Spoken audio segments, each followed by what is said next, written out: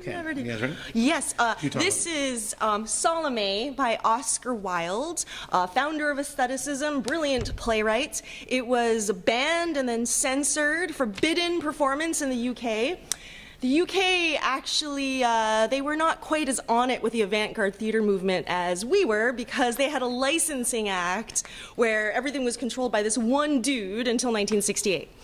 So a lot, a lot of censorship there in terms of theater, the realists, everybody. Anyway, sorry. Um, so Oscar Wilde, also, as you guys may remember, was uh, sentenced to jail for being in love uh, with another man, and uh, so horrible. So just a whole lot of messed up things happening. Great. Yeah. And uh, th- where I'm playing King Herod. Oh, yes. And uh, Tari is going to be Salome. Typecasting. Sorry. Ah, wonderful, wonderful. You see that she has danced for me. Come near, Salome. Come near, that I may give thee thy reward. I will give thee whatsoever thou soul desirest. What wouldst thou have? Speak. The head of John called the Baptist. No, no, no, Salome. You, you do not ask me that. Do not listen to your mother's voice. She is ever giving you evil counsel. Do not heed her. I do not heed my mother. It is for mine own pleasure that I ask the head of John the Baptist in a silver charger. You have sworn, Herod. Forget not that you have sworn an oath. I know it. I've sworn by the gods. I know it well. But I pray you, Salome, ask of me something else. Ask of me half of my kingdom, and I will give it to you. But ask not me what you have asked. I ask of you the head of John called the Baptist. No, no, I do not wish it. You have sworn, Herod. Come, Salome, be reasonable. You will be reasonable, will you not? I have never been hard to you. I have ever loved you. It may be that I have loved you too much. Therefore, ask not this thing of me. This is a terrible thing, an awful thing to ask. Surely, I think you are jesting. The head of a man that is cut from his body is ill to look upon, is it not?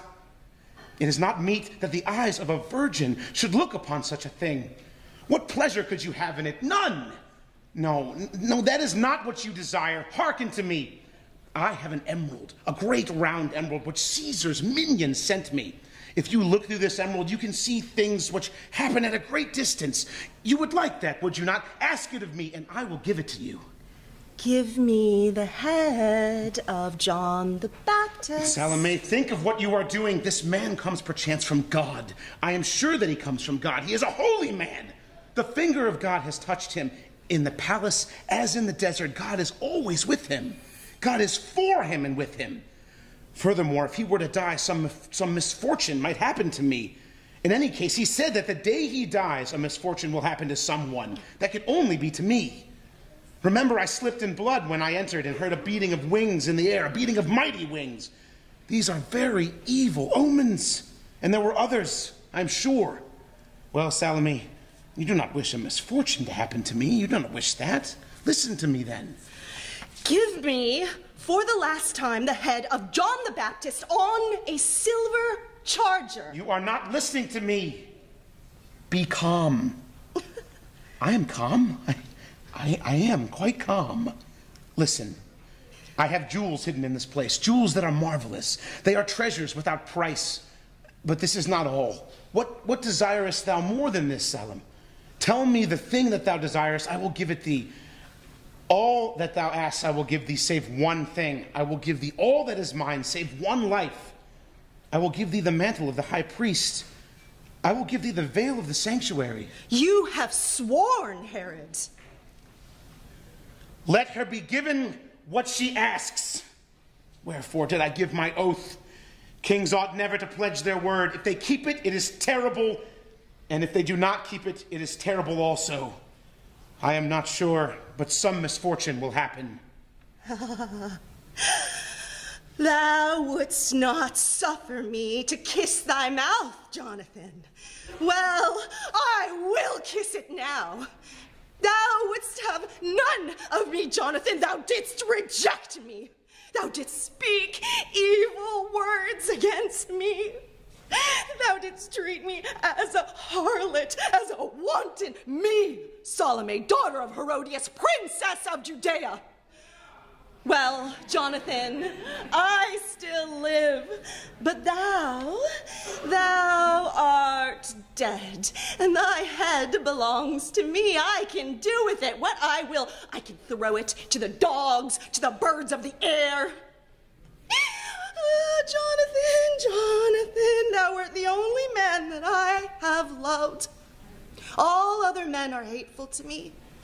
But thou, thou wert beautiful. Thy body was a column of ivory set on a silver sea. Thy voice was a censer that scattered strange perfumes, and when I looked on thee, I heard strange music. Jonathan, I loved thee. I love thee only.